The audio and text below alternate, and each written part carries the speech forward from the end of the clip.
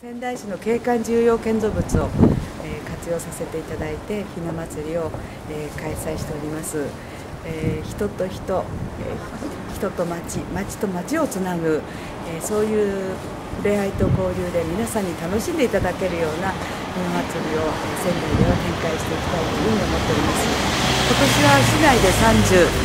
32会場。県内白石5会場塩釜5会場